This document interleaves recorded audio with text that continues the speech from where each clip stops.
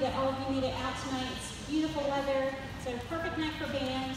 Um, I just wanted to remind everybody that tomorrow, next week, sorry, next week, May 3rd is our band banquet, and we hope all of you are going to come out and celebrate our band students again um, for that occasion. So we're going to go ahead and start, and this is sixth grade. Each group has four pieces uh, for you to be able to hear and listen to. They're on the program, so we hope you enjoy the show. High Adventure is a wonderful classical fanfare on concert B flat. The different instrumental sections are announcing majestically the beginning of our concert. The composer is Paul Adler. He is a co-author of Essential Elements, which is our band method book.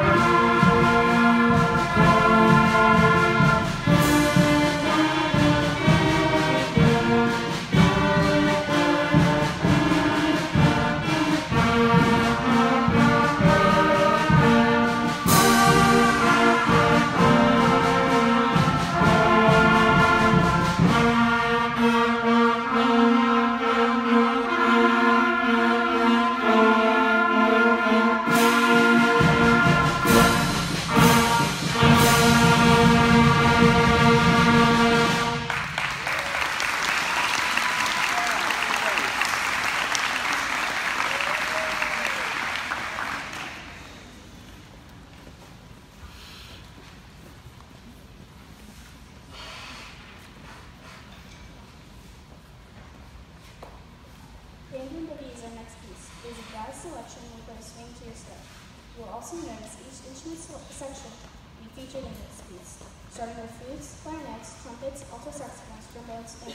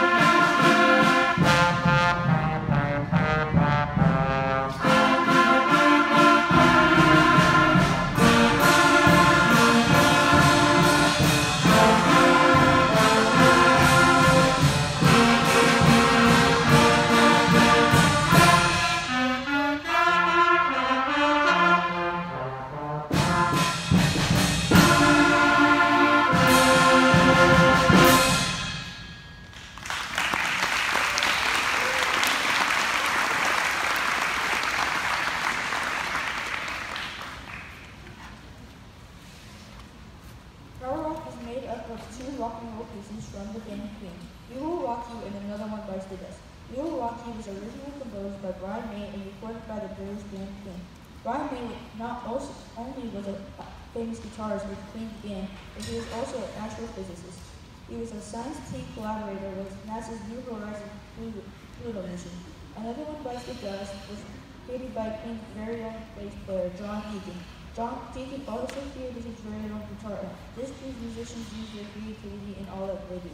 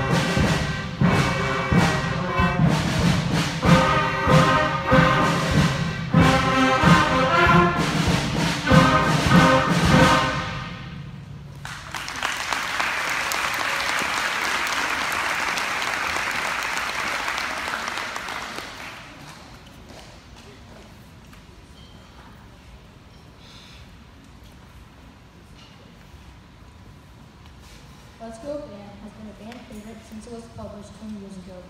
It is as much fun to play as it is to listen to. This was one of the first pieces we played that had different parts. We had to learn to listen and play together to make this piece work. We hope you enjoyed Let's Go Band.